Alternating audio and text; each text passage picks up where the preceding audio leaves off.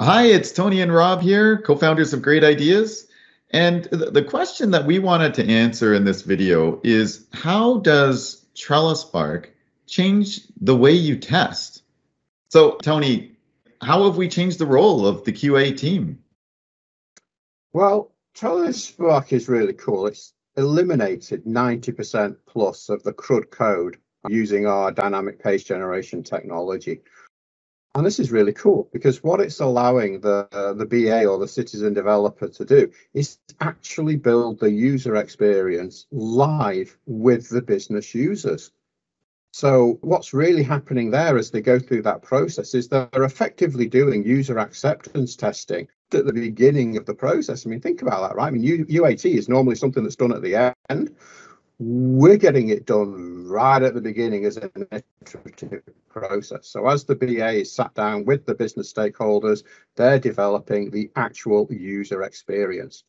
Now, another side effect of removing 90% plus of the CRUD code, you know, the actual code to get the data on the form to the database, back from the database, update it, and so on, is if you've eliminated 90% of that code, you've also eliminated at least 90% of the required testing.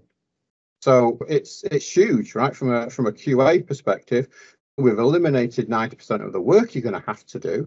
And, and we've also completely turned the process on its head. You're doing UAT, or the BA is doing UAT as they're actually developing the actual user experience. Another thing that really helps here is the way that the trellispark framework compartmentalizes everything. So this means that instead of your development team having to build, you know, large components with tens of thousands of lines of code in. They're building small functional components that maybe have 10, 20, 50, 100 lines of code.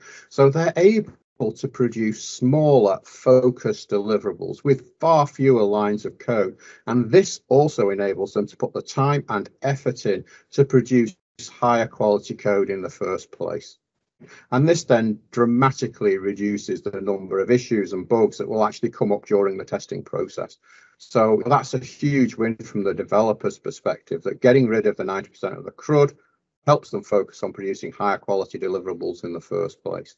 Another thing that's really cool about eliminating just volume of the of the test cases that need to be written is that We've also therefore dramatically reduced the number of test plans, test scripts, test cases, test data, and everything else that the testing QA team has got to put together, uh, and then reduce the number of iterations that the, the test team is going to go through as they go through finding bugs and bringing issues to people's attention. So what this is really helping us to do is it's helping the QA team to really focus on the quality of both the business functionality and the overall usability of the solution. Now let, let's let's draw this back then to what you traditionally would expect in software development. I mean, typically for a quality assurance kind of life cycle process, you've got your unit testing, and then you go into your system integration testing, possibly some functional testing, and then and then finally, of course, you have the user acceptance testing. And you've touched on some of these elements already in, in what you've commented on. But how has this all really changed fundamentally with trellispark? Well, as as we said earlier, I mean, first of all, right, user acceptance testing, which normally comes at the end of the project, is actually happening live in real time with the business stakeholders right at the beginning, right? I mean, that is a huge conceptual change. Yeah. Okay. The other thing is that a lot of the testing that we normally have to do is related to the user experience. You know, so does this user you know, have the ability to even see this record. Given that they can see the record, can they see this field? Can they edit this field? Is there a button on this form that they can click? Do they have permission to click the button? Mm. Um, all of this functionality is now essentially for free. I mean, we're doing that inside the data model. We completely eliminated all of the code that would normally sit behind it, which means that we've eliminated all of that testing. So we have really changed the way that, that the QA team are, are interacting. And we've integrated UAT testing into what the BA is doing when they're talking to the business stakeholders.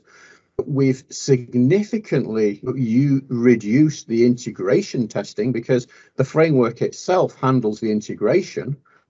You still have some unit testing left to do. So when you identify, I have a button on the form that processes the invoice, you still want to provide requirements to process the invoice and then you know, actually work through that. But we've significantly reduced uh, that unit testing requirement. So it's fundamentally changing the way the QA team need to think about their role.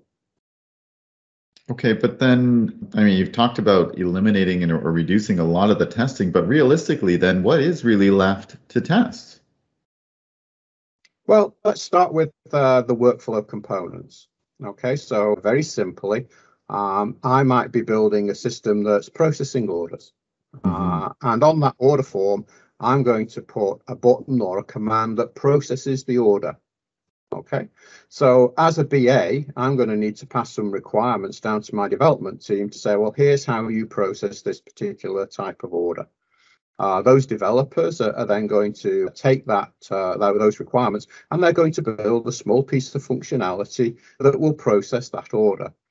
And as a QA tester, you are going to need to prove that they did it right and everything is, is fine, right? So what you're going to want to do is build some very specific unit tests to say, well, when this order is processed or when this command is, is clicked, it needs to do these things with this order. And you will validate, you know, all of the happy paths, all of the sad paths, and prove that that piece of functionality does what it needs to do. Okay, but this is an independent piece of code now, right? This is something that's tested in complete isolation from everything else. You don't need to set up a test case to get to a point where you have some order data and you've got a whole script around that and you've then got to test whether or not the users can see the button. All of that is essentially done for you. That's all just part of the framework. So the only test that you are writing is the specific test of the functionality that's processing the order itself. Got it. And then the other side of this is because you're not testing the user experience, that's a given in, in the trellispark framework. The code that you are writing is really easy to develop as an automated test script that you can stick inside the build logic for the CI/CD pipelines. So it makes it really easy, you know, both to actually focus on testing the, the workflow that needs to be verified and then integrating that as an automated uh, test sequence inside your. That's awesome.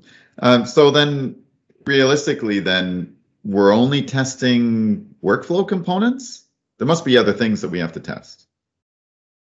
Yeah, so another area where there may be uh, some QA and testing required is the fact that we allow the BAs and the developers to change the user experience. So, as a business analyst, I might be developing a, an application that requires a new custom control.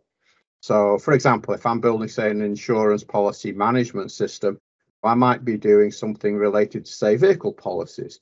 So I might want to go to my dev team and say, look, can you give me a, a vehicle component? You know, it's a whole new component. It's not in the in the trellispark framework it needs to do some sort of mashup with a service on the internet to take a, a vehicle identification number, a VIN, as a parameter, and then download the make, the model, the size of the engine, all of these this other vehicle data into the fields on, on this component and then save that into the record associated with this vehicle on this policy. So we allow our developers and BAs to be able to custom to that extent so if you're obviously going to do that sort of customization, then you're going to need to test it, right? So again, assuming that they're following the trellispark guidelines and you've created a new version of a field component, then everything related to putting that component on a form and who can see it and who can edit it is just part of the framework. That's all for free again, right? So what we now need to do is test the specific user experience of that, that field in isolation. So if you put in a valid VIN, does it go to the internet, get the data and put it into the fields or not? Right. So what we've done here again is we've isolated the testing that you're doing to purely what is it that the field itself needs to do? How is that field working in the back end? How is that adding data as elements of a record? All how you use and integrate that field into the framework is a given. It's there. That's very cool. So we've eliminated the integration testing and we've contained the unit testing. What about regression testing? I mean, you, you touched a little bit around the CI CD pipeline and how you can automate that stuff, but there must be an extensive amount of regression testing required.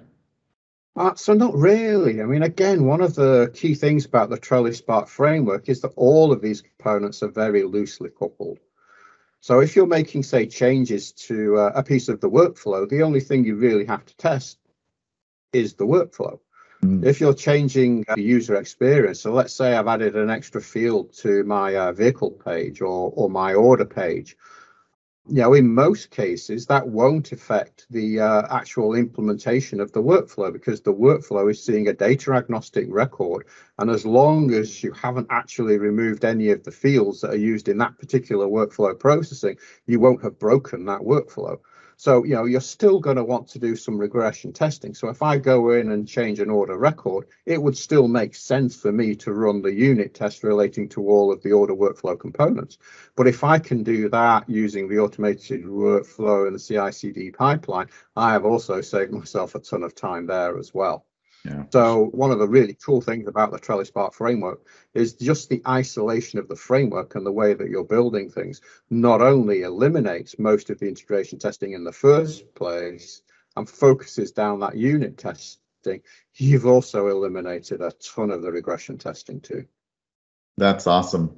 So in summary, we've dramatically reduced the overall effort of required testing.